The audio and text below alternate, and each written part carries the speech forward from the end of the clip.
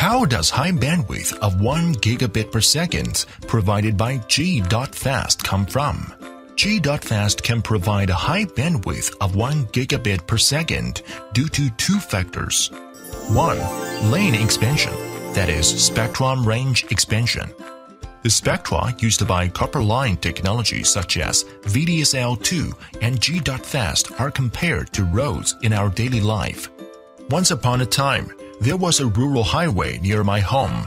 It was so narrow that traffic could only squeeze through slowly.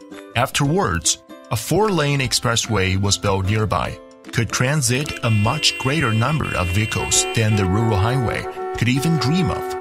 Now, the traffic on the highway has significantly improved.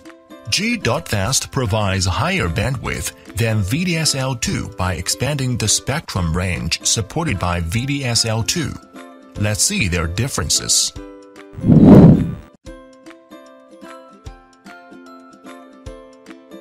Two, reducing interference between lanes, that is, vectoring crosstalk cancellation.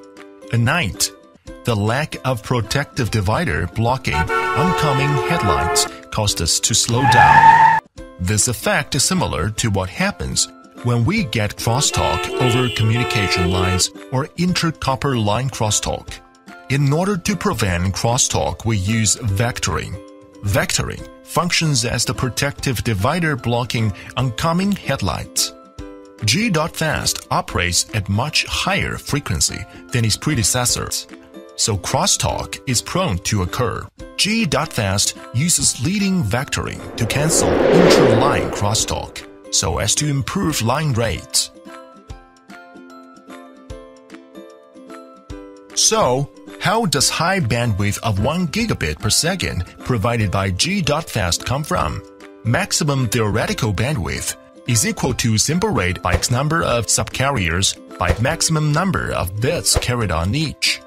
The number of bits carried can be considered to be the maximum people carried in each vehicle the G.fast according to ITU-T G.9701 is permitted to carry a maximum of 12 bits per subcarrier.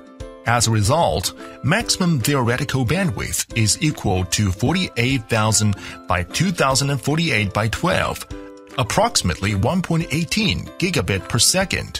This is 1 gigabit per second provided by G.fast.